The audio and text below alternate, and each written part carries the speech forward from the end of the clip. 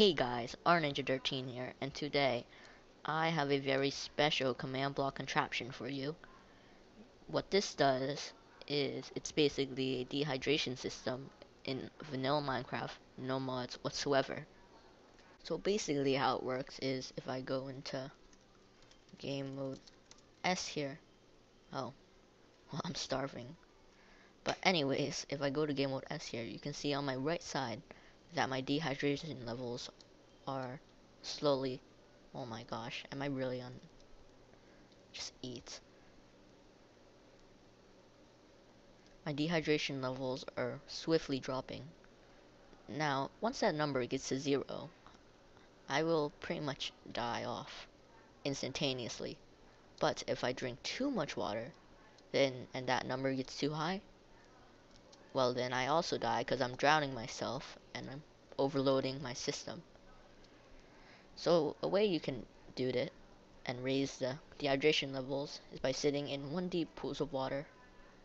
Two deep, deep two deep pools of water won't work though, because I'm theorizing if you're in two deep water or more, you're most likely swimming or something similar to that. And I don't think you can get a big gulp of water after you're just swimming around in water. But if you're in one deep, it's like you can go down and grab it, so just made sense to me. And another way you can get your dehydration levels up is by taking water bottles and drinking them. And you can see on my right there that my th thing just got 200 more. So you can take these water bottles on the go if you're traveling in like planes or something I'm going to show you what happens if you overload this system. So the limit's 10,000 and you die. So I'll be back just a minute.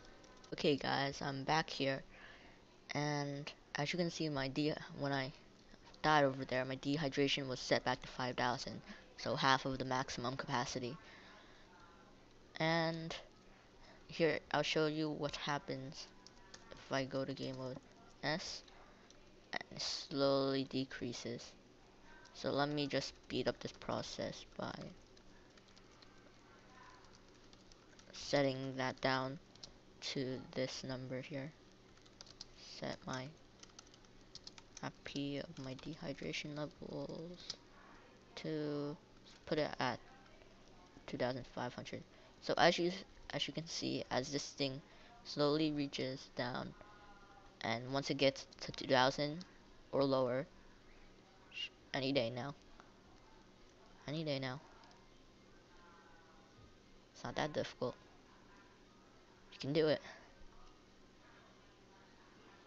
Okay, let's go now. You can see that water par particles start spawning around me as if I'm sweating. Now, if this level goes down to, goes below 500, so you're to see that really soon here. So if that level gets down to 500, then I get slowness, plus the water particles, and I gotta get to water quickly because that number is going to drop really soon. But I'm going to show you what happens when that reaches zero because the exact same thing as overloading your system happens. So you pretty much die and all your things get reset. So that's pretty much how it works. Now I'm going to show you how the system works. Okay guys, I'm back here and I pried open these glass panes over here just to show you the inner workings of the machine. It's quite compact and I like that about it. So over here I have this fast fill clock that's just placing redstone blocks here and it's triggering all these command blocks. So what is making the dehydration thing go down is this over here. So if I'm in survival mode, it's just going to remove one from my dehydration levels. Now for the one the one um deep hole thing, basically it's over here. I'm detecting if there is water in that position where the player is right here and there's an air block above them now if it finds this it's just going to add 10 to my dehydration so that's how that works for the water bottle. It's kind of tricky to do but basically I just tested if there was glass bottle and a water bottle. So if I drink the water bottle and right after that it turned into a glass bottle that machine would detect it and it will trigger this that will add 200 to my dehydration levels. And that's how the water bottle thing works. Now for the killing system this command here is testing if my score is less than zero this one's testing if it's greater than 10,000 whoops now if it finds this they're both triggering the same machine which goes up and triggers this command block to kill that person and set the, their dehydration levels back to 5000. I should also mention that this is not really meant for multiplayer. It's a bit finicky and it's not going to work very well.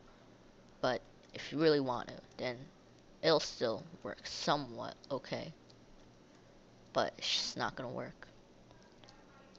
So, yeah, and for the particles I just have in here, it's going to give it when the two when the um, dehydration reaches below 2000 and this one's just gonna give me the slowness effect when it reaches below 500 so that's pretty much all there is to know here oh I should also mention that in regular world this dehydration over there it's not gonna show so what I have here is a system where if you stand on a lapis lazuli quickly and get off a big title will come up and it'll tell you your hydration levels.